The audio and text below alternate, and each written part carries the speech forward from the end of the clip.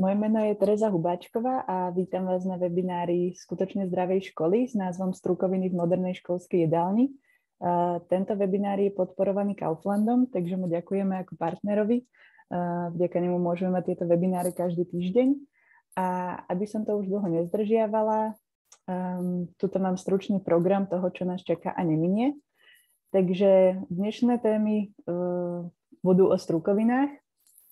Najskôr sa nám teda predstavia lektory a začne Euka Blaho, uh, povie vám niečo o tom, prečo by ste mali zaradiť strukoviny do jedálneho jedálnička a lístka a následne preberie tému Luboš Mego a povie vám niečo z praktického použitia strukovín. A teraz by som poprosila už Euku, aby sa v krátkosti ešte predstavila a môže začať. Dobrý deň a ďakujem teda za vašu účasť. Moje meno je Eva Blaho. Vyštudovala som v Austrálii školu nutričnej terapie a, a fitoterapie a vlastne po návrate na Slovensko som začala spolupracovať so združením, vlastne, ktoré teraz pod, pod ktorého záštitou je skutočne zdravého, zdravá škola. A venujeme sa teda téme školského stravovania, ale aj ja sa teda okrem toho sa venujem aj stravovaniu detí, aj stravovaniu pri rôznych onemocneniach. A takže, mi, takže na to pozerám z rôznych uhlov pohľadu a teda dneska by sme sa detálnejšie pozreli na, práve na strukoviny. Takže ja si spustím prezentáciu.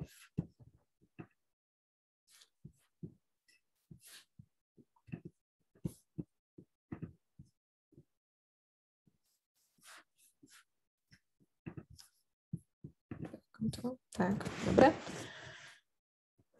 Takže strukoviny, šošovička, hrášok, fazulka, to určite poznáte aj tú rýmovačku. A strukoviny sú vlastne pre Slovensko dosť typické, veľmi často sa tu konzumovali v minulosti, vlastne v tom medzivojnovom období tvorili základnú časť jedálnička, pretože meso bolo drahé po vojne. Takže strukoviny boli veľmi dobrým zdrojom bielkovín, aj zasítili a boli hlavne lacné. V dnešnej dobe tá spotreba strukovín podľa štatistického úradu je dosť nízka. Za rok 2019 to predstavovalo iba 1,5 kg strukovín na obyvateľa. A len, akože ono to možno znie veľa, že 1,5 kg na rok, ale keď si porovnáme, že za rok 2019 um, bola spotreba mesa okolo 69 kg na rok na obyvateľa, tak uh, to je dosť veľký rozdiel. 60, 70 kg skoro a, a necelé 2, 2 kg. Takže určite by bolo potrebné po, po, po, pomeniť alebo vyvážiť trošku tento pomer uh, bielko, bielkovín, tento pomer bielkovín zo strukovín versus meso. Uh, jedným teda z týchto, jedna, jednou z možností je teda aj zaradenie alebo využívanie viacej tých strukovín v školskej jedálni, kde deti majú aspoň jedno, jedno, teple, jedno teplé jedlo denne a je to vhodná forma, ako by, ako by tomu sa s tým zoznamovať, aby tomu vystavené. Veľa z vás, alebo možno niektorí rodičia, alebo kuch, pani kuchárky majú skúsenosti, že deti nechcú jesť strukoviny. My sme si robili na začiatku tohto roka prieskum na školách, na základných školách a stredných školách. A vlastne z tohto prieskumu nám vyšlo, že Áno, tá konzumácia je nízka, že iba 36% detí konzumuje strukoviny niekoľkokrát za týždeň alebo častejšie, ale zase na druhej strane sa ukázalo aj to, že teda deti eh, by uvítali viacej jedál zo strukovín. Hej, že eh, toto boli, okrem toho, že teda chcú mať eh, pri obede čbán s čistou vodou alebo možnosť pridania šalátovej prílohy a väčšiu ponuku ovocia a zelenín, tak sa tam objavila aj odpoveď, že viac jedál zo strukovín. Takže a určite to s tými deťmi nie je až také zlé, že by to odmietali. Keď sa na to pozrieme z toho nutričného hľadiska, tak strukoviny sú významným zdrojom bielkovín, ktoré sú teda pre výživu človeka dôležité hlavne z hľadiska svojho zloženia, teda zastúpenia aminokyselín. Porovnaní s mesom, meso by sa, meso, o mese sa teda hovorí, že je, alebo teda nielen, že hovorí, ale meso je plnohodnotná bielkovina. Strukoviny nie sú plnohodnotná bielkovina, to znamená, že nemajú toľko tých aminokyselín, ako je obsiahnuté v mlieku, mliečných výrobkoch, vajciach alebo v mese, ale vhodne sa doplňajú s, obil, s, s bielkovinami v obilninách. Čiže keď sa dá strukovinovo obilninové meso, teda strukovinovo obilninové jedlo, tak už máme z toho plnohodnotnú bielkovinu a je to dobré na zasítenie aj na a, udržanie teda glykemického indexu. Najbohatšia z bielkovín je soja, tá má v, na 100 gramov až 17 gramov bielkovín, zatiaľ čo šošovica a hrách majú len nejakých 8-9 gramov. Soja je vlastne taká kráľovná strukovín a veľmi často sa z nej uh, robia aj nejaké polotovary, aby sa teda využili pre Mm, vegetariánske a vegánske pokrmy. Okrem bielkovín sú strukoviny majú, majú hodný zdroj aj tukov, majú tak, tam priaznivé zloženie mastných kyselín, to znamená, že nedvíhajú cholesterol v krvi a obsahujú lecitín, to je vlastne tuková zložka, ktorá má pozitívne účinky na cievnú stenu, mozog a nervy a na pečeň. Čo sa týka sacharidov, tak strukoviny môžeme označiť za potraviny bohaté aj na sacharidy a neškrobové polysacharidy, čo je vlastne vláknina. A vláknina má tiež prospešné účinky na hladinu cholesterolu a aj na, na náš mikrobiom.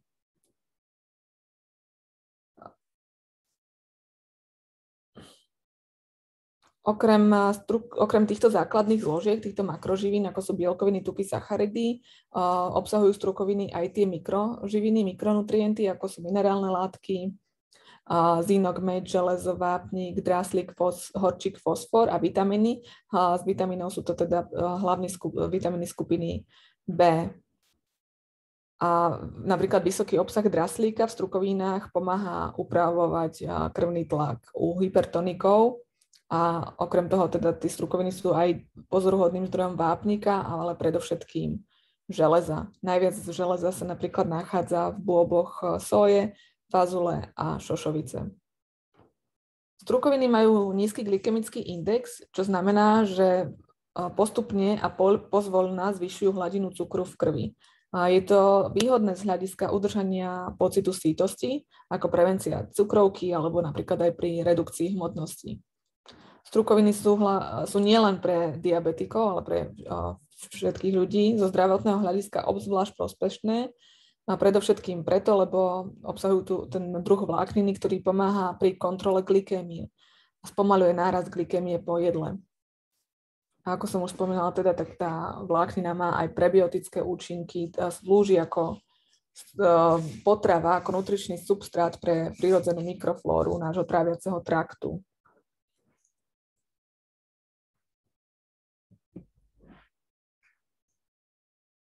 Strukoviny majú tiež rád ďalších zdravotných účinkov.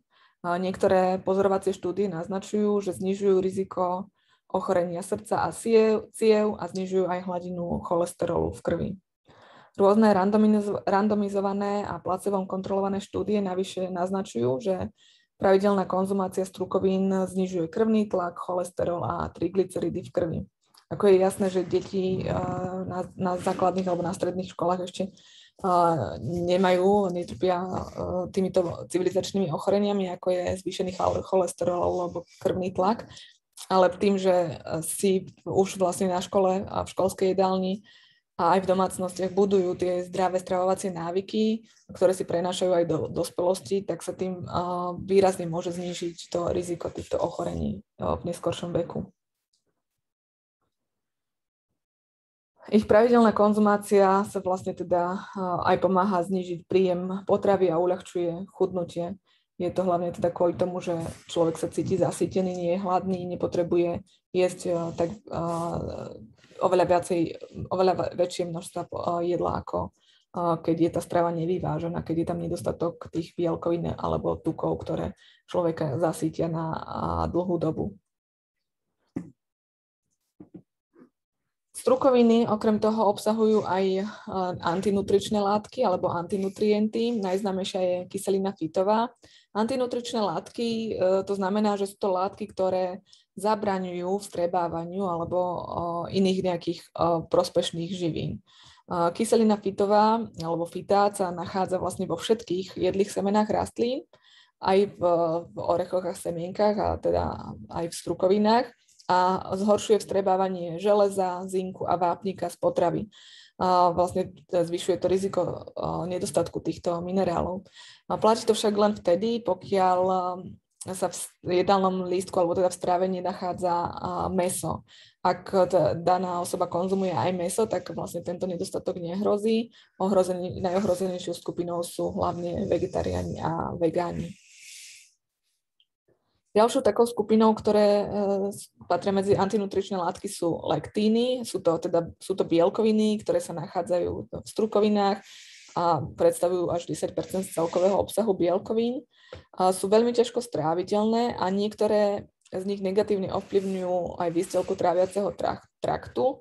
Existuje veľmi veľa lektínov a jeden z nich, taký najviac skúmaných, je fitohemaglutinín a ten je aj jedovatý, dokonca sa niektorí ľudia otrávili, ale to sa otravili len takí ľudia, ktorí teda jedli surovú, surové strukoviny alebo surovú fazulu. Čiže pokiaľ tá fazula a stru, strukovina dostatočne uvarená, tak takéto niečo nehrozí. A myslím, že to málo kto by sa odvážil alebo trúfol si na to zjesť surovú fazulu predsa len to vôbec eh, nie je chutné a, a ťažko stráviteľné. No a poslednou skupinou sú saponiny, sú to vlastne podobné ako lektiny ťažko stráviteľné a ovplyvňujú teda tú, tú výstelku toho tráviaceho traktu. A tie sa však takisto zničia várením, takže pokiaľ varíte tú fazulu minimálne 10 minút, čo sa teda aj varí aj dlhšie, aby bola dostatočne meká tak všetky tieto, teda tieto dve skupiny lektiny a saponiny sú zničené.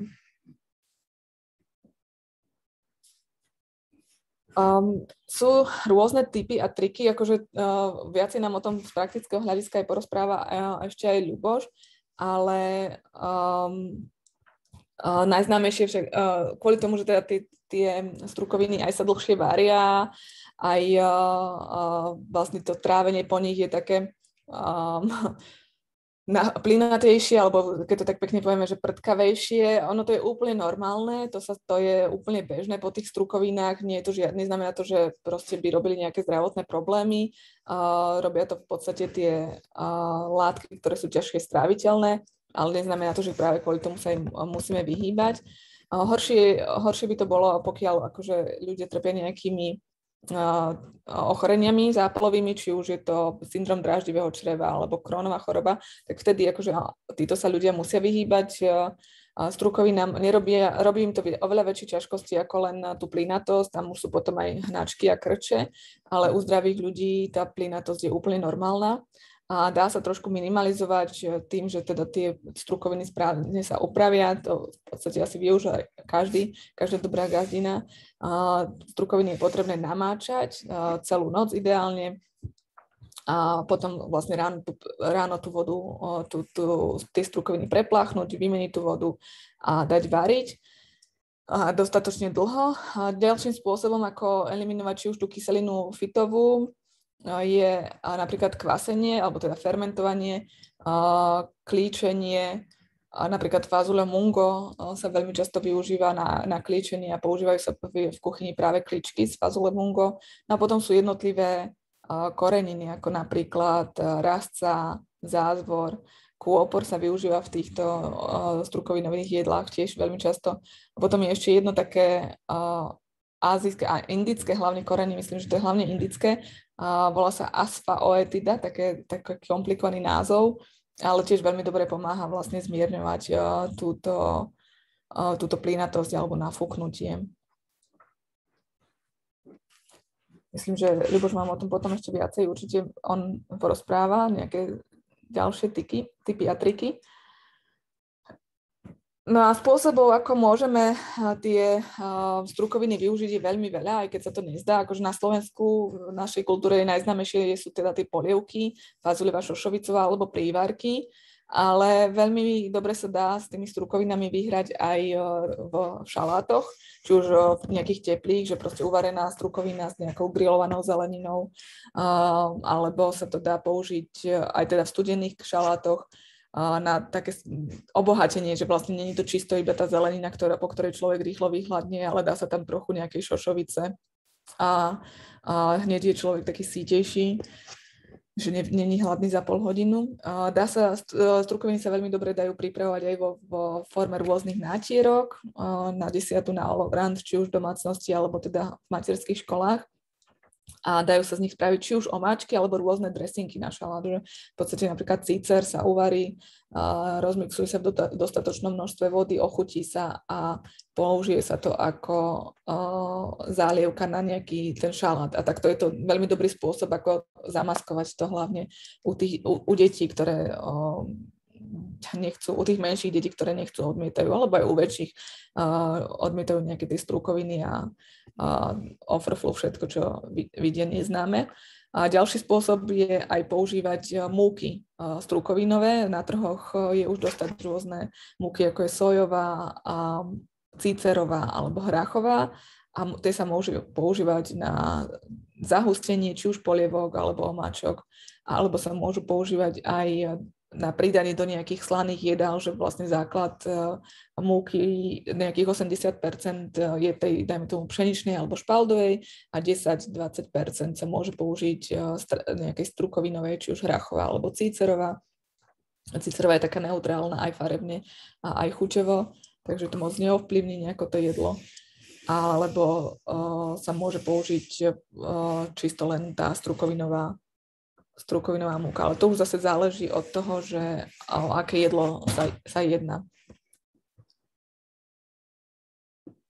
No ja ešte som tu pripravila taký prehľad, aspoň e, takto farebne jednotlivých tých jedál, e, tých strukovín, okrem tých, čo bolo vidieť na tých jednotlivých slajdoch, tak tu máme fazuľu azuki, a potom je, dole je vlastne soja, kráľovná rastlinných bielkovín.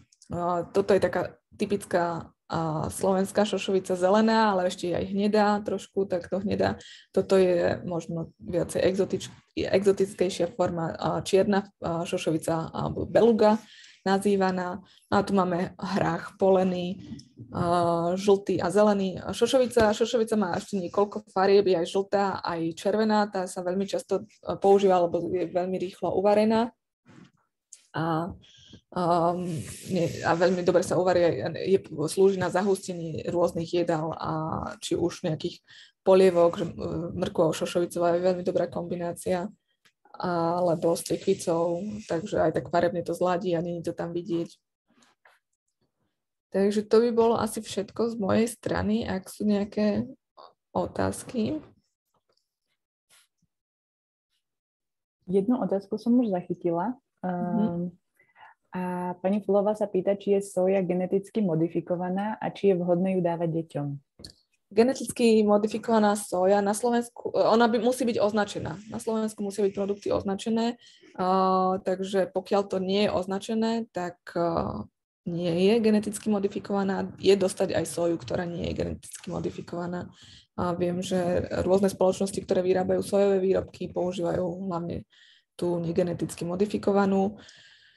Či, a či to podávať deťom, to je otázne. Akože je ešte veľmi málo, je to ešte veľmi málo na, na, na trhu, aby sa dali zistiť nejaké dlhodobé následky. Podľa odborníkov, akože by to nemalo tým, že zjeme genetické modifikované potraviny, nám sa, genet, nám sa tá DNA nejako nezmení, nejako to neovplyvní, pretože na naše telo je veľmi komplexné a dobre premyslené a aj by nedovolilo ako keby že zjeme uh, zelený šalát a ovplyvne to našu DNA, že aj my sa staneme zelenými, že ani to sa nedá spraviť ani s tou geneticky modifikovanou sojou, že zjeme niečo GMO a ovplyvnilo by to naše DNA, to proste nefunguje, ale uh, nevie, nevedia sa ešte nejaké. Tý. Viem, že proste bolo to veľmi uh, kontroverzné a teda ešte stále je, trošku už je okolo toho menej ticho, aspoň mne sa teda zdá, ale uh, nie sú robené takéto dlhodobé štúdie, aby sa zistilo, že či sú nejaké následky, alebo či je to naozaj zdravé prospešné. Takže nič zle sa nestane, ale ak tomu neveríte, tak ešte stále je na trhu stále dostupná nie geneticky modifikovaná soja alebo rôzne iné obilniny, takže dá sa tomu vyhýbať. Neviem, či to bolo postačujúce, bola to taká diplomatická odpoveď, ale je na to. Áno, ďakujem. Dobre. Ďakujem, presne ste vedeli, na čo mierim. Hej, nie sú nejaké jednoznačné uzávery uh, odborné vedecké, takže, takže tak. Ďakujeme za otázku a pokojne, ak by ste mali ešte nejaké ďalšie, aj čo sa týka tejto nutričnej stránky strukovín alebo potom už tej praktickej na Luboša, tak nám môžete do, do četu písať a potom vám ich všetky zodpovieme uh, po skončení webinára, teda prednáškovej časti. A ja už by som chcela privítať Luboša Mega, uh, ktorý vám povie niečo o praktickej využiteľnosti potravín a teda strukovín a takto, aby ho bolo vidno. A môže sa v krátkosti predstaviť a môžeš začať. Ďakujem, Tereska. Ty si mi dal taký honosný názor, že, že uh, školiteľ, alebo ako si to nazvala? To bol také, akože lektor. Úplne, lektor dokonca, ďakujem odborne. Pre mňa úplne nová funkcia, ale v podstate ja som len človek, ktorý sa troška viac zaoberá tým, čo je a, a zároveň aj varím 20 rokov. Takže ďakujem za predstavenie, Tereska, a ďakujem Evke Blaho za výborný úvod. Ak teda ak zostanete so mnou bližších 20 minút možno, vítajte. V prvom rade chcem potraviť samozrejme vám, vás. Um, vítajte, uh, ďakujem, že ste prišli.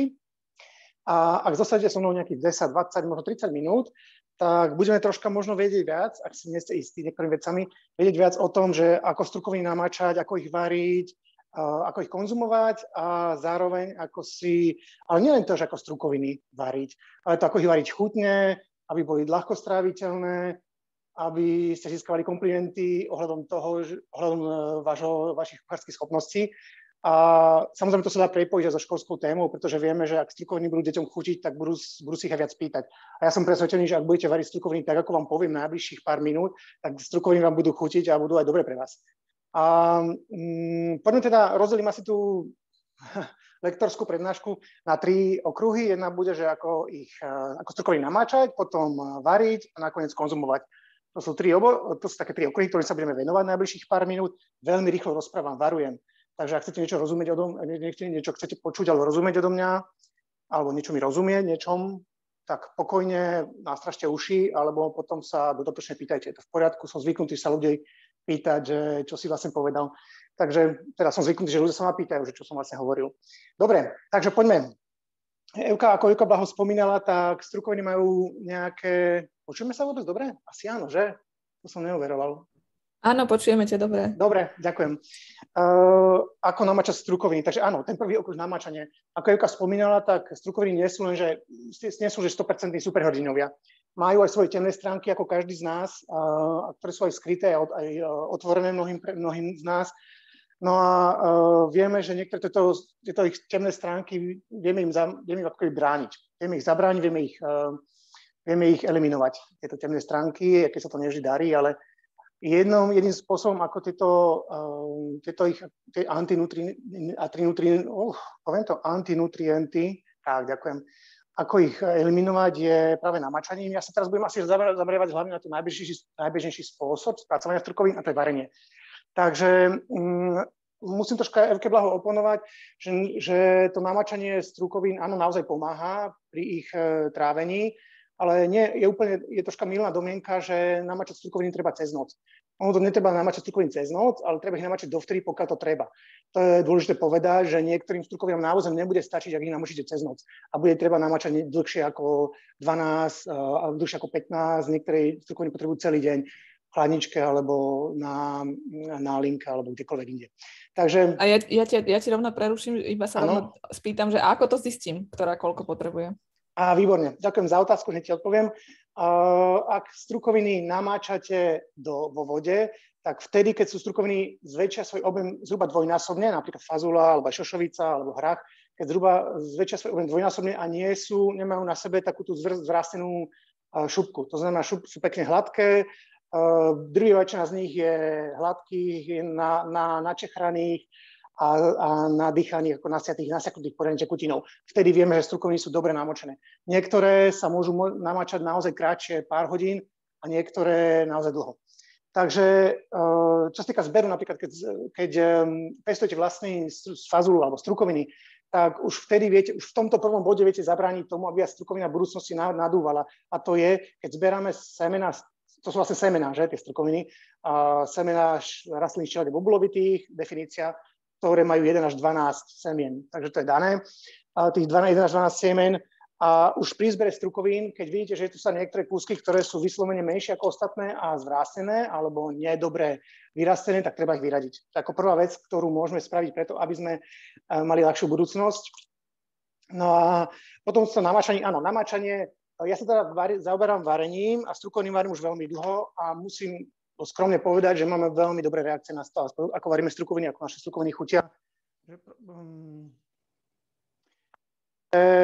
sú s nami veľmi spokojní, ako pri ich pripravujeme naše napríklad fazule. Ja fazulu vždy namačam do slanej vody. To je to, čo robia mnohí iní kuchári po celom svete, v rôznych kultúrach. Na 1 liter vody používame zhruba jednu, dve lyžičky soli, to je 10 gramov, to znamená 1% koncentrácia soli v tekutine. Teda, e, keď namočím fazulu alebo stukovinu do litra vody, tak vždy pridám zhruba 10 gramov soli na každý liter. Takže to je jedna vec, namočame, a to nie je len, tá sol tam nie je len preto, že prečo tam dávame sol, že to je úplne hlúposť, že strukoviny sú suché, tá fazula je úplne suchá, ja sa pozerám sem dole, lebo tu mám zrovna namačanú, takomto veľkom vedri na zajtra, ale e, že tá fazula v podstate neuchotí, neuchotí, ne, neuchotí tú strukovinu. Ide hlavne o to, to ako keby mikro, ako, um, fyzika, asi biofyzika skôr, že tá sol vlastne spôsobuje, že, tá, že vplýva na šupku tej strukoviny, tá strukovina nasaje troška menej vody a tá šupka zostáva v celistvosti. V celku to znamená, tie strukoviny tak nepraskajú, nepukajú pri varení. To je dobre vedieť, potom máme krásne a nadýchané strukoviny, ktoré, sú, ktoré nie sú rozpadnuté v tej tekutine a zároveň je dôležité tie strukoviny variť pomaly. To je dobrá, to je dobrá, že nie je prudký varom. Takže sme stále v tom namačaní.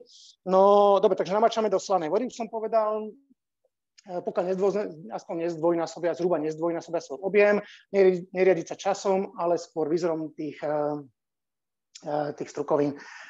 Niektorí, teda ja pridávam sol, niektorí, ak napríklad používate strukoviny na prípravu pyre, kaše, alebo klasický humus je taký známy, tak sa pridáva soda bikarbonát, tam zase opačné účinky na šupku strukovín, ona ich uh, uvoľňuje, vlastne tie väzby medzi tými jednotlivými bunkami, takže potom tá, tie, napríklad tá fazula alebo ten cicer je v podstate ľahšie vykremovateľný aj bežnými domácimi ponornými mixermi alebo robotom kuchynským je na úplne hladké píre čo je fajn, soda bikarbonát, lyžička sody bikarbony pomôže pri uvoľňovaní, pri mekčení a zmeknutí strukovín počas váru. Ale napríklad, keď robíme aj falafel, poznáte možno, tak pridávame sodu bikarbonu na namačanie, pretože falafel sa potom robí zo surovej, z namočenej, z namočenej strukoviny a potom sa až práži v oleji alebo pečí, akokoľvek ste zvyknutí. Znova tá, ten, tá soda bikarbonu pomôže zmeknúť tomu, tomu napríklad ciceru. Dobre, čo sa stane, keď zabudem namočiť strukovinu, som stratený. Moja existencia je zbytočná a už to nikdy neuvarím a už som úplne zbytočný v ten deň, pretože strukovina už nikdy, neuva, už nikdy nebude na obed. Keby sme náhodou niekedy zabudli navariť, uvariť, namočiť strukovinu, to namačanie nie je len o zmeknutí fazule. Vieme, že to nie je len o zmeknutí fazule, to je celých procesov, ktoré sa v tej fazuli dejú, v tom semene, ktoré si uvedomí, že aha, teraz som v prostredí, ktoré je bohaté na vodu a niečo sa so mnou začne diať. Stávam sa pomaličky plodným tá strukovina sa stáva plodnou v tom eh, prostredí a začína meniť tie škroby, ktoré sú tam uväznené v tých netravi, nestraviteľných formách, začína ich meniať stráviteľné. Preto aj strukovinu dokážeme počas namáčania po namáčaní skonzumovať bez problému, napriek tomu, že bola v surovom stave ešte pred pár dňami. To je to, že tá, to semeno sa začína prebudzať a začína klíčiť.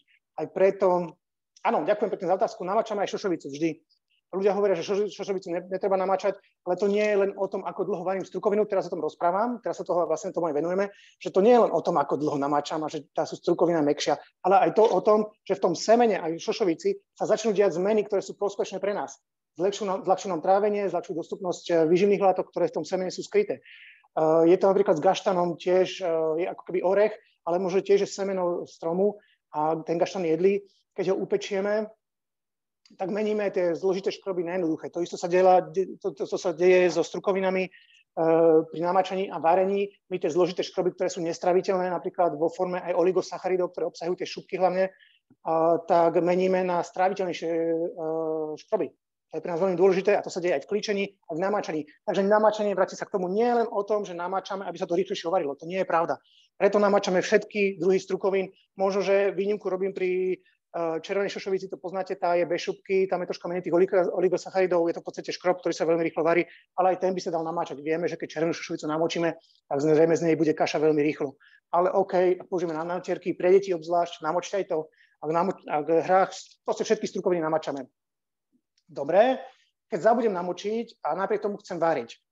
Eh, ďalšia vec, existuje tzv. rýchlo, tzv. rýchlo namačanie, to voláme, uh, quick soaking, ale to samozrejme to rýchlo namačanie nie je niečo, čo tej fazuli dáva najavo, alebo čo zabie, rozbieha tie procesy v, v strukovine a v tom semene, že aha, začína sa teda meniť a stáva sa zo žaby krásna, krás, krásny princ. Nie, tá strukovina len nám toto rýchlo namačanie len umožní rýchlejšie uvariť e, to tej semena, tú fazulu napríklad. Ako sa to robí?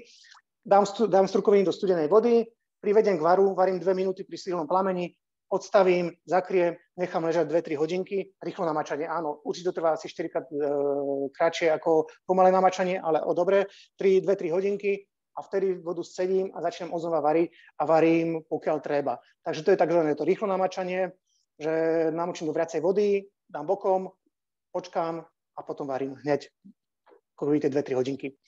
Dobre, ak by ste mali niečo na mňa, kľudne ma zastavte. Dobre, ja mám. Áno, prosím. Ja som, lebo ja som to aj na to myslela, som na to zabudla, že mm. si hovoril, že zabudneme namočiť, tak čo mm. sterilizované, sterilizované strukoviny. To som... A sterilizované strukoviny, áno, áno, ďakujem pekne, to som chcel som tiež povedať niečo, ale dobre, že si mi to pripomenul a už som zabudol. Sterilizované strukoviny ja používam sám aj v kuchyni a pri deti uh, ako veľmi pohodlnú alternatívu k vareniu strukovín. Áno, ak, si, ak sa dá vždy, ak máme, čist, ak máme výrazné strukovinové jedlo, vždy si namačame. To je proste, ale ak používame strukoviny ako doplnok, k niečomu, tak často používame práve sterilizované strukoviny, obzvlášť si vyberáme tie, ktoré sú v skle, uh, premývame ich, to znamená, nepoužívame tú tekutinu, ktorá v nich je, uh, ale a preferujem teda strukoviny, ktoré sú v skle, prípadne preferujem strukoviny, ktoré sú pripravené na pare. Už aj vieme, že aj veľkí výrobcovia, uh, že, že už aj veľkí výrobcovia Označujú to, la, to, áno, aj to označujú to Vaper. Áno, nie? áno, Vaper. To, to je zatiaľ najlepšie, to bol zatiaľ z, môjho, z, môjho, z mojej skúsenosti zatiaľ najlepší uh, komerčný produkt na strukovinový nátrhu je parená zelina, parená fazola. Takisto parená zelina, ak máte možnosť v mraziaku.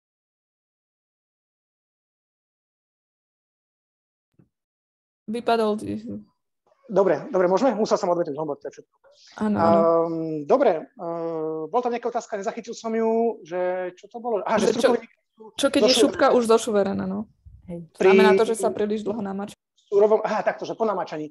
Ak je šupka zošuverená, to sú tie strukoviny, napríklad, neviem, kto sa pýtal, môžem si dýkať, ja som Buboš, ahoj, teším Keď napríklad uh, namáčaš tie strukoviny a uh, väčšina z nich je tá šupka hladká a pekná. Ak nájdeš strukovinu, ktorá je mierne zošuverená, nevadí, nevadí, ak je to pár kusov, ak je to veľa tých zošuverených, naozaj že veľmi veľa, tak by som uvažoval o tom, že akej kvalite sú tie strukoviny, či nie sú príliš staré, či ich netreba dlhšie namáčať. Prípadne si vyskúšaj, ak máš napríklad domácu várku strukovín, to je dobrý tiež tip. Ak máš domácu várku strukovín o nejakej babky, že máš 5 kg, tak skúsi naozaj namočiť a uvariť čas toho, aby si vedela, ako k tomu pristupovať. Možno, že to dlhšie namáčanie pomôže tej strukovine a možno, že nie. Z mojich skúseností to dlhšie namáčanie vždy pomohlo strukovine a keď už je naozaj stále zošuverená, môže to byť, že tam bol problém už pri, už pri pestovaní pretože ak je podnebie alebo počasie v tom čase, keď, stru, keď strukoviny rastú, ak je suché a teplé, ak je málo vody, prepačte, ja musím za chvíľu. Oh, yeah, OK. Nič, nemusím. Dobre, takže ak je to uh, hej, suché a teplé počasie, tak tie strukoviny budú takéto. Budú sa veľmi ťažko variť, môžete ich namáčať a variť niekedy do nekonečna, do nemoty a tie strukoviny budú vždy tvrdé. Mám, poznáme všetci také, stalo sa nám, je to vplyv počasia, v čase eh, varenia, môže to byť vplyv aj eh, teda toho namačania. Takže poprvé pri zbere dávať pozor, aké si nakupujem, či bola dobrá sezóna, či bola dobrá úroda a potom pri namačaní by mali byť tie strukoviny pekne namočené, dvojnásobne zväčšený objem, žiadne stvrknuté zošuverené šupky. Vtedy môže znamenať, že celá tá várka, celá tá várka tej strukoviny už je ťažko stráviteľná. Dobre. Ďakujem. Ja, uh, odpovedal som na otázku vôbec? Áno, áno. Okay, dobre. dobre, super. Ďakujem, neviem, kto to bol. Asi je. Dobre, a všetko dobre. Uh, varenie, varenie, varenie. Áno, poďme, dostaneme sa. Namočenie sme asi vyčerpali. Ja už neviem, čo by som tomu povedal. Určite sa niečo nájde, ale poďme varenie. Takže máme, máme, od, máme strukovinu, ktorá je namočená a teda krásne sa nabopnáva, namačali sme to v studenej vode na solenej a keď pokračujeme ďalej, tak e, túto vodu zlejeme. Túto vodu, ktorú namačali, zlejeme a dáme variť do novej čerstvej studenej vody. Vložíme do vody strukoviny a, a čo som aha, znova sol, znova tá sol, áno. Znova dávame sol, bežne sa ma pýtajú ženy, že prečo, lebo že dáva sol, však vďaka tomu budú stupoviny tvrdé, no nebudú. Ešte sa mi nestalo, že by som do solenej vody, varíme aj častokrát vo vývaroch, ktoré sú už, už slané, ešte sa nestalo, že sme mali vyslovene, že tvrdé strukoviny. Tá tvrdosť sme si už povedali, ako ju eliminovať a dobrým namáčaním a dobrým výberom, dobrým výberom uh, strukovín. A a čo? Áno, do slanej vody znova, ten pomer je ten istý, zhruba 1% koncentrácia, to znamená lyžička soli na liter vody a varíme ich. Dobre, a ďalší spôsob, ako napríklad e, znížiť nadúvanie, to znamená, to sú tzv. oligosacharidy, ktoré sa nachádzajú, tie sú ťažko stráviteľné pre nás, tak je dobre priviesť tú strukovinu najprv k varu, nechať ju vrieť a tú vodu zliať pretože vyplavíme z, tých, z tých šupiek tieto zložky, ktoré tam nechceme mať, zlejeme to a môžeme takto pokračovať dvakrát. Máte deti, alebo ste, alebo, alebo si ty, alebo vy, vy ste citlivé na, na strukoviny a chceli by ste ich pomaličky začať zavádzať, zavádzať do svojho jedálnička. Toto je dobrý spôsob. Zatiaľ, čo sme povedali, to namáčanie, ten dobrý výber a teraz to, keď namočím, zlejem a znova idem, začínam od zostudenej vody, privedem k varu, počkám, zlejem a toto môžem spraviť dvakrát po sebe. A potom začnem už naozaj variť. Mm, takže tak, do solenej, vody. Malý tip, ak chcete kombinovať farbu strukovín, tak sa zvyknú kombinovať ako, ako farba vína. Napríklad, že bledé strukoviny, ako sú napríklad tieto, tieto bielej fazule, sa kombinujú s bielým mesom alebo s bielými, s, s bielými napríklad s bielou zelínou, s bledou, s blečou, s mladou, uh, s telacím, s takými mladšími mesami a potom, ak postupne ideme do tmavšej, tmavšej strukovín, tak potom pridávame ako keby na síle toho mesa, pretože tá strukovina tmavšia má troška, má troška taký plnohodnotnejší charakter, podobne ako víno. Takže tá farba strukoviny je to isté ako s vínom alebo s mesom. Pri víne už napríklad málo kedy použijeme bielu, biele fazule alebo, biele, alebo niečo. Uh, bielu strukovinu častokrát už potom ideme do tých tmavších uh, strukovín, pretože pekne sa ako keby doplňajú s tou divinou alebo s tým tušími dru- alebo s tempehom, keď nemusíme hovoriť o mese, s tempehom, so sojou. Keď tmavo marinujete, používate, keď výrazne marinujete, používate výraznejšie druhy strukovín, ako napríklad tmavá šošovica, čierna fazula uh, a tak.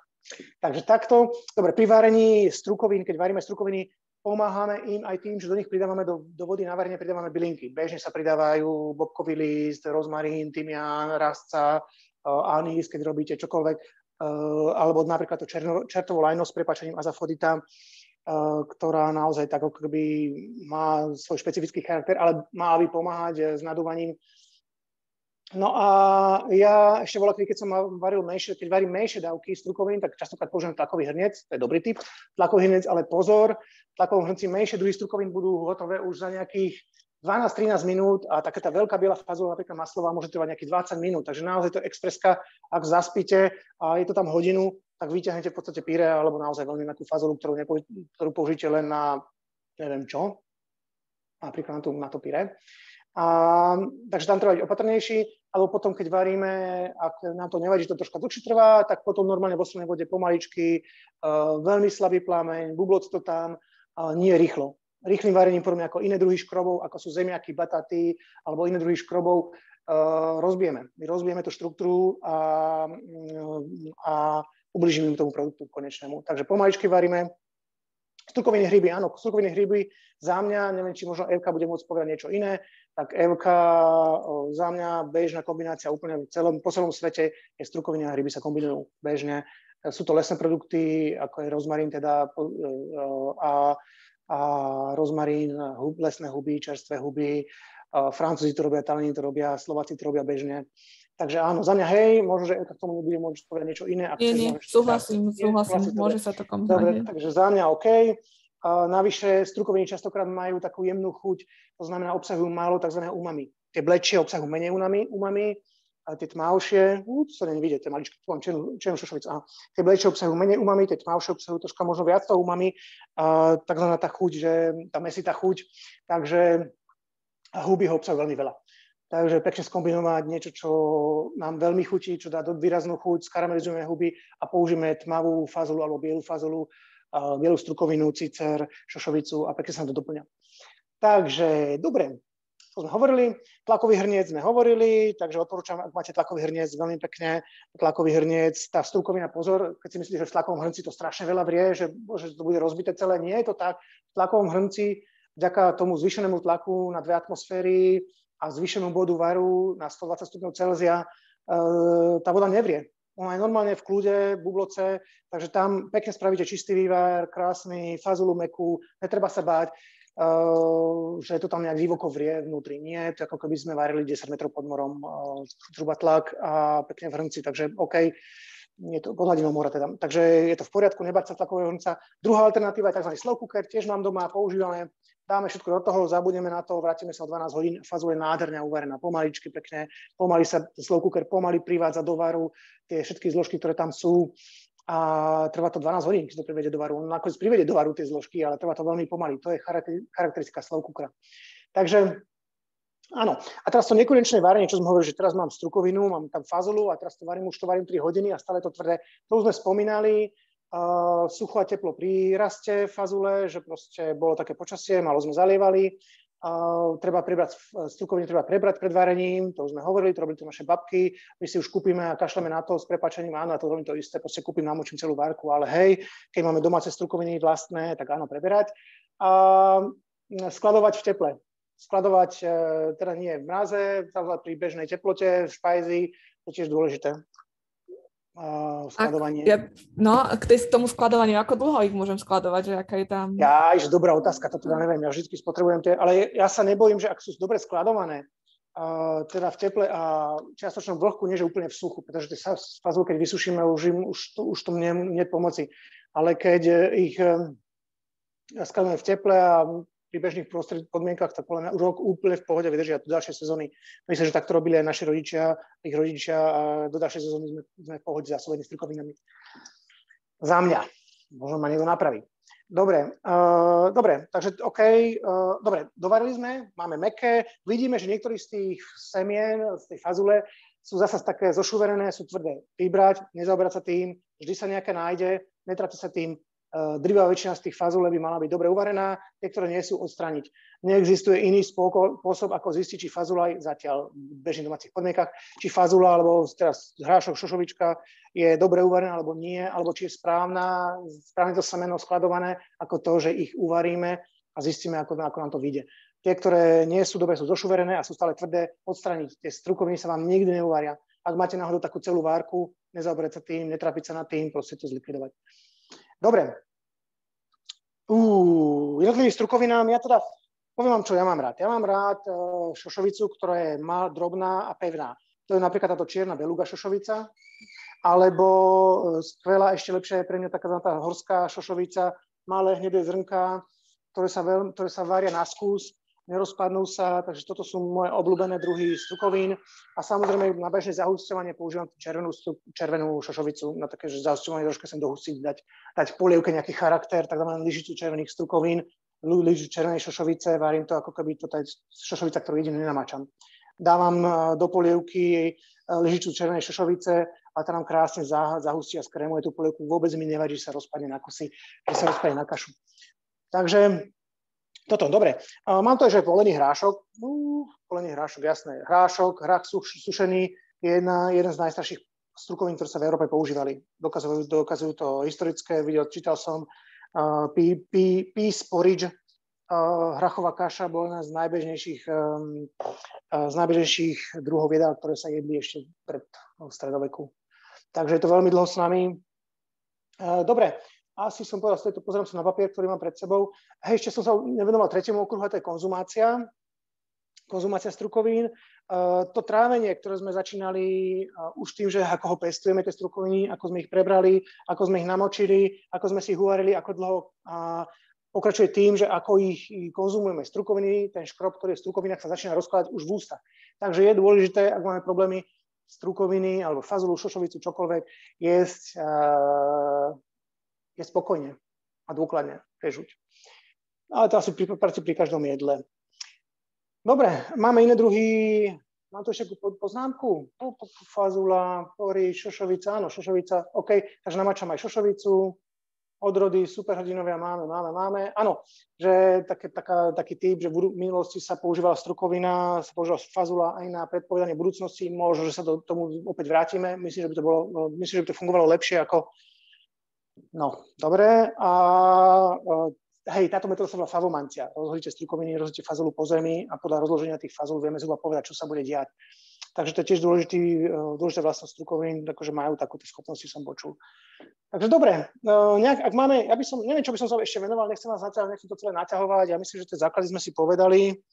Áno, že čo varím, ja, že čo varím napríklad zo strukovín, tak ja varím zo strukovín všeličo možné. Napríklad častokrát si radšej namiesto toho, aby som uvaril pol litra, pol kila strukovín, uvarím celý, celé kilo, a potom zvyšok, čo nepoužijem, si zamrazím eh, do mraziaceho do sačku na mrazenie a potom tú strukovinu použijem na zahustovanie omáčok. Nepoužívam múku, maslo, ale použijem tú fazulu, ktorá je uvarená úplne do meka, napríklad bielu pri bielých omačkách, tak si zahustujem omáčky. Napríklad spravíte si prívarok fazulový, alebo spravíte si prívarok, a tam to je možno zbytočné dokonca, spravíte si teda prívarok ja neviem, akýkoľvek sezónny prívarok, tekvicový alebo čokoľvek a použijete, použijete tú fazolu, ktorú máte v mrazáku, vyťahnete si, rozmrazíte to, ide pomerne rýchlo, použijete na zahustenie tej omačky. Mm, úžasné. Alebo aj, že sviečková, mm, zahustíte zelínou, keď treba, troška strukoviny pridať, troška tej fazule, ktoré tu máte, alebo šošovice červené, ktorú tam máte. Takže zahustujú výborne, strukoviny, potom dodávame strukoviny ako prídavok do polievok, v, najmä v menúčkach, ktoré sú, alebo v jedlách, v obedoch, ktoré sú ochudobnené v hlavnom jedle o proteín.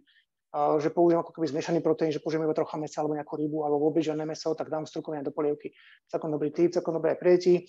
Vieme, že naše deti tiež odmietali strukoviny, ale tiež vieme z zvláštneho prieskumu, ktorý som robil pred 5-8 rokmi, že deťom treba ponúknuť jedlo až 10 krát aby si na ho zvykli, aby sa mu prispôsobili. Takže dať strukoviny na tanier, dať strukoviny na stôl, nenútiť nikoho uvariť tak, ako som povedal. Fantasticky proste. A, a áno, a počkať, kedy sa deti chytia. To je všetko a oni sa chytia pretože ak tie strukoviny dobre ochutíme, je to proste škrobové jedlo, ktorému keď pridáme tuk, je to podobné ako hranolka pre, pre, pre nás, pre ľudí. Máme kombináciu škrobu a tuku, ktorý hlavne v tom zimnom období, kedy si môžeme dovoliť možno troška viac energie prijať, o pár tých kalórií navyše, kilokalórií, tak vtedy to milujeme všetci. Je to ako keby smažená hranolka pre tie deti, takže naše deti milujú strukoviny. Šošovicu v polievke super, fazulu výborné, fazulové pyré, humus, cicer, čokoľvek. Áno, Dlho to trvá, môže to trvať dlhšie, nezúfajme, neznamená to, že naše dieťa je, nie je hodné nášho mena. Myslím, že to bude v poriadku o pár rokov, len proste s príkladom. To je všetko. A z mojej strany, ak máte nejaké otázky, ďakujem za pozornosť. Ak som vás nudil, je, je tu otázka? Padla tu otázka. Pani Flova sa pýta uh, ešte deň. na lúskovú fazulu, ale nerozumiem no. úplne. Uh... Skús povedať, ako, skús povedať, Tereska, ako to je. Tak ako to je, to čítam. Lusková fazula s otáznikom. Takže Ani asi skôr, že... sa áno, dopýtať ešte viac, keď tak? Že uh, niečo o nej, lebo tu sme vôbec nespomínali nikdy. Áno, možno, že nespomínali lúskovú fazulu, myslíte ako tie, zelen, tie čerstvé, zelené a žlté lúsky? Asi to myslíme, že? Myslíme na to isté. Ak myslíme na to isté, áno. áno na mňa to isté, ale pristúpať k tomu ako k zelenine. Nie ako k strukovine, ale ako k zelenine.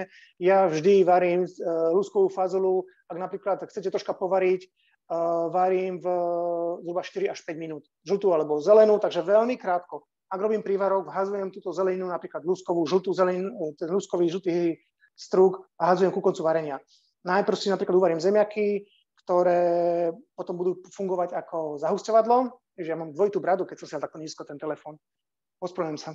Dobre, a, a, áno. A, takže hej, žlté struky, dnes to je moja kuchyňa. Mm, pracovná, zoznámte sa, ďakujem.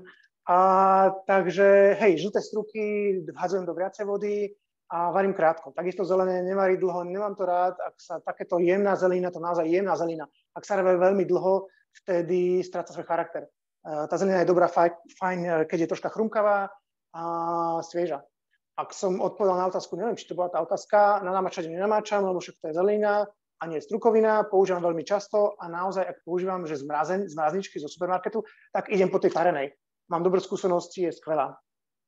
A takisto mrazenie, áno, mraziť sa dá, jasné. Zblášneme chvíľku, bavíme tých povrchových baktérií a potom šup do mrazáku spotrebujeme do troch mesiacov, ideálne do poroka, možno, že s odrtými ušami a potom už e, potom asi treba už sa pozrieť na dom mrazáka, že čo tam je na vyhodenie, asi tak. No, dobre, za mňa akože super, áno, áno. Ako zelenina, nie ako strukovina. Up. Ja, je tu jedna a, otázka a ja mám ešte jednu otázku. Tiež. Tak Hej. najprv tejto, čo som videl. Dobre, dobre. Deťom. U nás uh, fičí, no, ak to môžem tak povedať pejoratívne, je to pejoratívne? Asi nie. U nás beží teda tie červené šošovice na zaústovanie bežných zelinových polievok. Napríklad spravíte si zelinovú polievku z mrazenej alebo z čerstvej zeliny, v zime koreňovej zeliny a pridáme tu lyžicu červenej šošovice. Je to super, rozvarí sa to, zaústi to krásne. Uh, troška olivového oleja. U nás rovnako beží biela fazula, tá veľká maslová fazula, taká veľmi chutná, tá, čo má, uh, tá, čo krásne nabopná, uh, veľmi dobrý pre u nás, u nás veľmi dobrý aj cicer a chutia hnedá šošovica.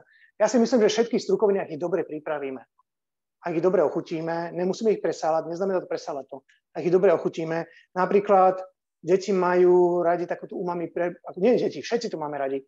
Tak napríklad, keď chcete, že nechcete pripraviť mesové jedlo, aj pre manžela, taký tým, neviem, či pozerajú muži, ale keď nepozerajú, tak dávam tým pre manžela. Ak vám manžel alebo niekto nechce strukoviny, pridajte do toho troška, že, že také tej udenej alebo konzervovaného mesa, napríklad slaniny. A to nemusí byť priamo vnútri pri tej deti, nie, že na vás nabodám, že dávate deťom slaninu do jedla.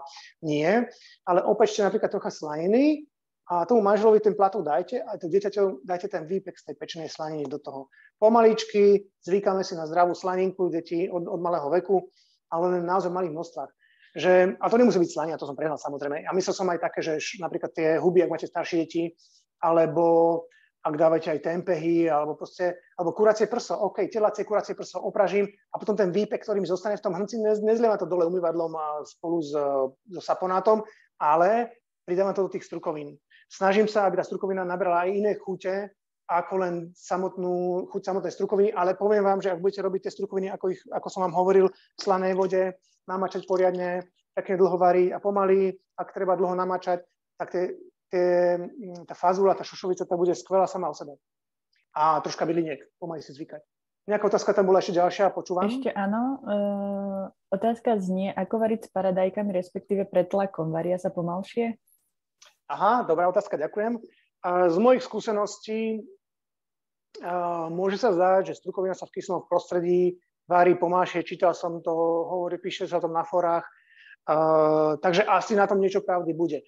Ja s tým takú skúsenosť nemám a odporúčam e, začínajúcim kočkám, gazdinám, alebo ak skúšate, najprv si tú strukovinu uvariť a potom pridať do, stru, do pretlaku. To je moja, to je môj, to je, to je, to je, to je grok, ako ja väčšinou varím paradajkové omáčky so strukovinami. Strukovinu si uvarím zvlášť a potom ju, varím te, a potom ju pridávam hotovú do paradajkovej omáčky. To je podľa mňa trik, ktorý sa oplatí robiť a zbytočne sa netrapiť tým, že sa mi to nechce v tom kyslom prostredí, um, kyslom prostredí uvariť ale Francúzi, Italiani bežne varia strukoviny v parekových pretlakoch a, i vychádza im to. Takže možno je to len o tom, že naozaj mali smolu na, pretla, na strukovinu, a že bola tvrdšia, alebo sme varili príliš krátko, alebo bola zle namočená. Ja, ak sa chceme vyhnúť tomuto problému, odporúčam pridávať faz, variť fazovú zvlášť a pridávať ju, ak chcete, potom aj s tou tekutinou do toho paradekového základu. Ja by som sa k tomuto zrýchlovaču ešte varenia strukovín mm-hmm. chcela opýtať. Počula som to aj o riasach, že urýchľujú var. Takže to je sa... tiež možné, ďakujem. alebo ako? Ďakujem za otázku. Bežne mm, mnohí aj makrobiotici pridávajú do, rias, do varenia strukov, do pomalého varenia strukovín riasu, napríklad kombu, ktorá môže, ktorá môže urychľovať varenie a zároveň zjednodušovať trávenie po, po varení. Takže má vplyv na ten obal strukovinový a môže zlepšiť e, stráviteľnosť a zároveň aj zmekčiť tú, áno, rýchlejšie zmekčiť strukovinu pri varení. Používať, vyskúšať to na sebe.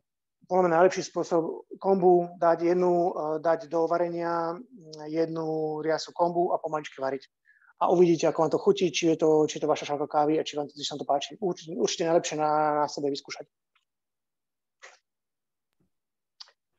No, ja by som...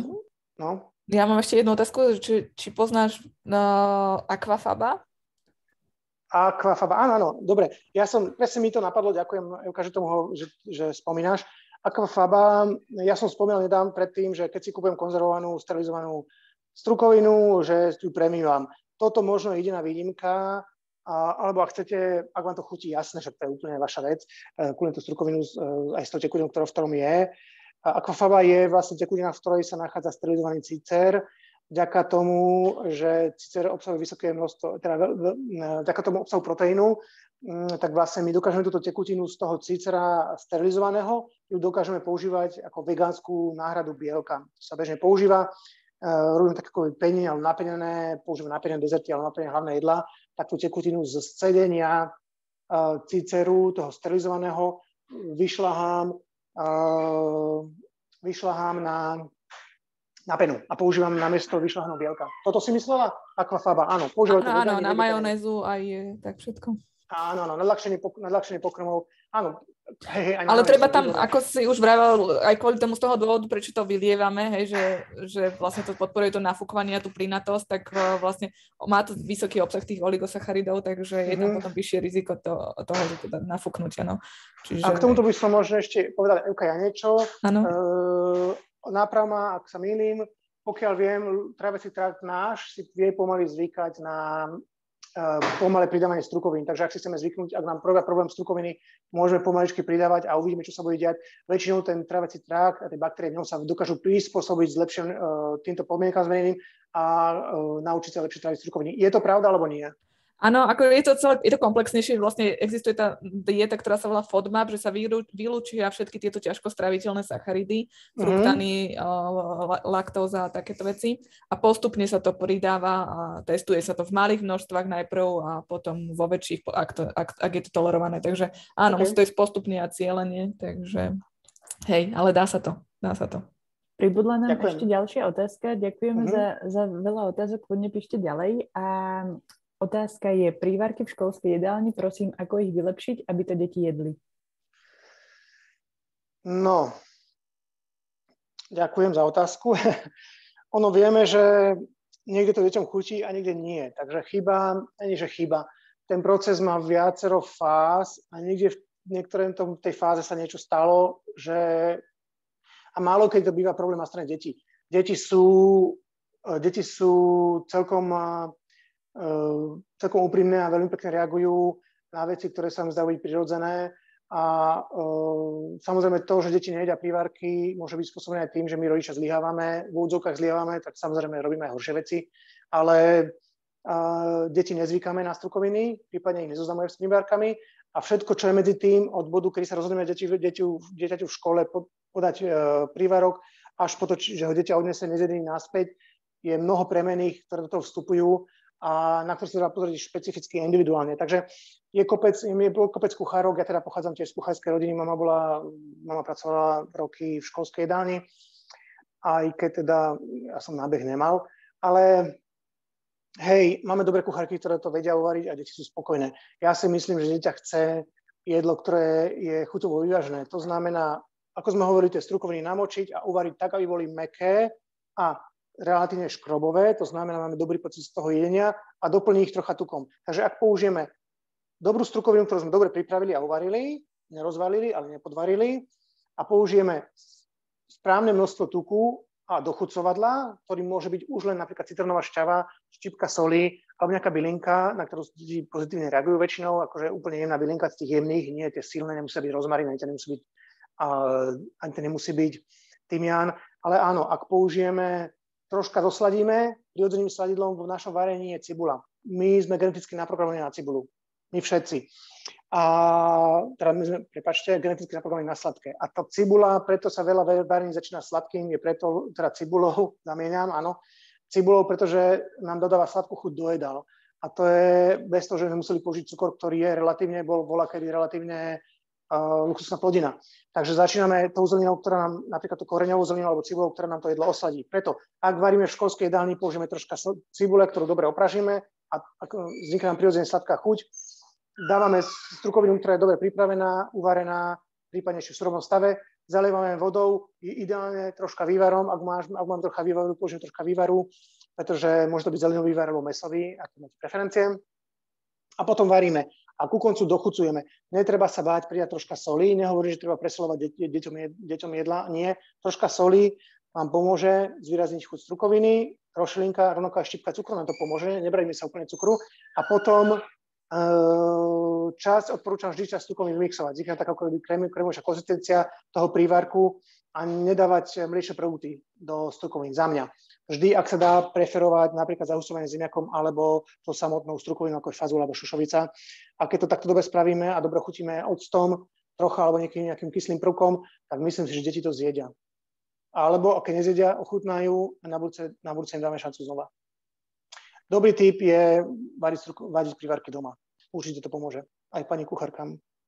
Padal tu ja aj neviem. komentár, mm-hmm. že, mm-hmm. že niekde nie je problém len s deťmi, ale aj s dospelými, ale to je potom na, na áno, tému. áno, áno, presne, že uh, my mnoho, mnoho dospelí robíme doma chyby a ja ich robím a tie sa potom prejavujú aj v tej školskej daní, samozrejme. Um, takže áno, netreba si zbytočne uh, tríziť kvôli tomu, ale je dobré, si myslím, že áno, všetko je v poriadku, je dobré podnúkať deťom pestov strávu, nie je jednosme, nie je jednorazo, nie jeden, jednodruhovú, ale pestov strávu, ktorú im umožníme a dáme im tú slobodu a od, dáme im slobodu odmietnúť ju. To je v poriadku. Dobre, je žiadne otázky, tuto nevidím. Ešte ja dúf, no, môžete, mm. môžete sa kľudne pýtať, ak vás niečo napadá. Ale Zatiaľ, ja vám ešte nazdielam uh, kalendár našich budúcich webinárov, aby ste vedeli, čo nás čaká, aký vám uh, otázky napadnú. Tak ja ďakujem za odpovede srdečne. Ja ďakujem za otázky, neviem komu, ale ďakujem pekne a aj za pozornosť. Ak sa to naťahlo, prepačte. A ak nie, nie. To bolo, bo, áno, ak to bolo plodné, tak som rád. A ja sa odpojím a budem počúvať, ale mám tu ešte prácu, takže je to Dobre, v poriadku. Ďakujeme veľmi pekne. Niečo. Áno. A ja ďakujeme ďakujem pekne. Ďakujem Zajtra ja, rovno varím šošovicu. Na zdravie a dobrú chuť a snad vyjde. Ďakujeme. Ahoj, Ľuboš. Ahoj, Ahoj. Uh, len aby ste vedeli, teraz máme strukoviny. Budúci týždeň nás čaká jedlo ako prierezová téma pre prvý a druhý stupeň. Toto bude zamerané na základné školy ako môžete vidieť, ako začleniť školu e, do rôznych predmetov, do výuky rôznych predmetov. A potom nás čaká podobná téma, ako sme mali dnes, ale s obilninami, takže tiež sa vyskúšame a vysvetlíme nejaké praktické rady, aj odborné e, rady, ako poňať obilniny. A potom vám predstavíme celoeurópsky projekt, e, ktorý sa bude týkať tiež skutočne zdravej školy s názvom School Food for Change. A až v januári sa potom stretneme na stravovacích a pohybových návykoch detí. Takže toto je len takto k tým webinárom, ktoré nás čakajú. A ja by som chcela ešte veľmi poďakovať e, spoločnosti Kaufland zase, ale aj našim hosťom a lektorom Lubošovi a Euke za, za prínosné informácie a aj vám ďakujem, že ste si našli čas a že vás téma jedla zaujíma. Samozrejme, potom si budete môcť pozrieť aj e, iné webináre, aj tento na YouTube, kde ho nahráme. A ešte prišiel komentár, musím ho prečítať.